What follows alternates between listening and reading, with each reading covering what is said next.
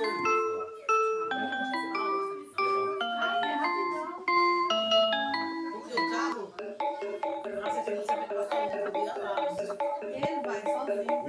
Oi, Igor, você tá cai segunda-feira com o Juan?